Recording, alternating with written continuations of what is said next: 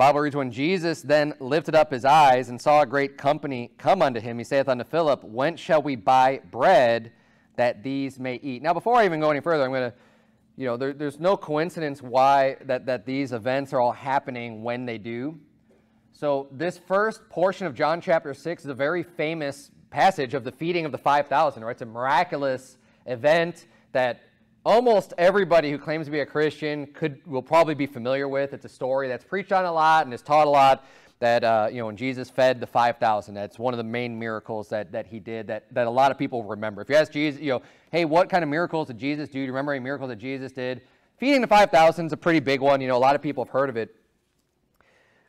But this is um, the way that this is in the story, and then later on we see him claiming to be the bread of life helps to give a more full understanding and meaning to what that whole miracle even meant to begin with, with him providing that food. So we're going to dig into this. We're going to see this event play out and I'm going to expound on it a little bit. The Bible says, uh, so first he's saying, you know, there's a lot of people there.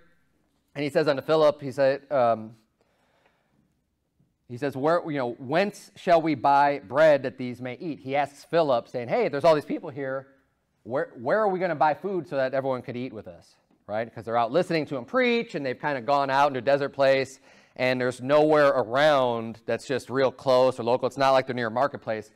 You're saying, hey, where, where are we going to go get food for all these people? Verse 6 says, And this he said to prove him, for he himself knew what he would do. I mean, he's asking this question. It doesn't like he doesn't know the answer, right? But he just wants to test Philip and just see what he's going to say and, and kind of hear what his answer is going to be. Uh, verse number seven Philip answered him, 200 pennyworth of bread is not sufficient for them, that every one of them may take a little. So obviously, there's so many people here. He's saying, there's a lot, a lot of people to feed. And he's saying, we would, you know, 200 pennyworth is not enough. And now you could say 200 pennies, that's like two bucks, not a big deal. Well, until you figure that a penny in the Bible is about like a day's labor, right? That's, that's what people were um, bartering with, especially during the time of Jesus when he's making, you know, he's saying the story. So you think about, I mean, days labor, you're saying like maybe 100 bucks. So, you know, 20 grand to feed all the people that are there. That's a little bit more what you're talking about, right? When he says 200 pennyworth. So that's, that's quite a significant amount of money. And, um,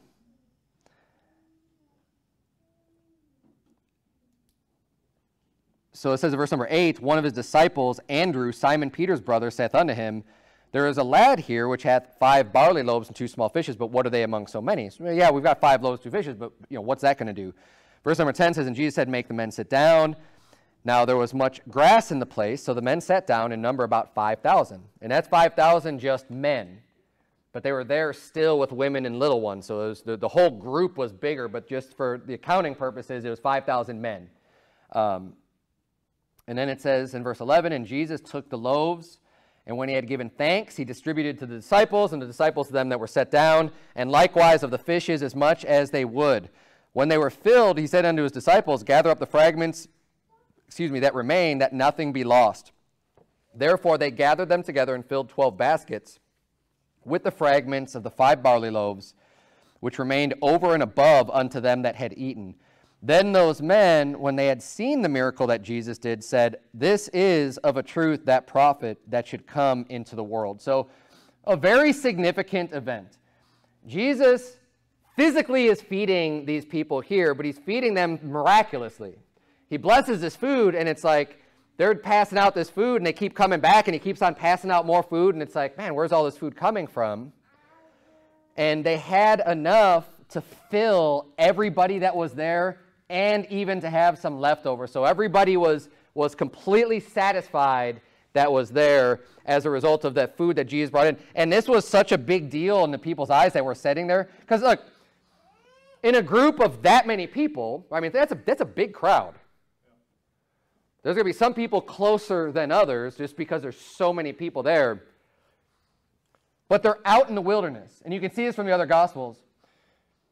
Even the people, you know, sitting farther back, they're going to be like, where are they getting all this food from?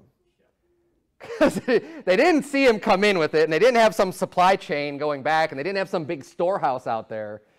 everybody understood that this is a very significant miracle because they just keep on coming. I mean, just imagine that. You, if you're at some big, you know, I don't know how big some of these uh, event centers hold, but you're talking, you know, 10,000 people, right? Or more, probably more. If we say every, every man that was there had, uh, you know, maybe a wife with them or someone else with them, and then, um, you know, a child, whatever.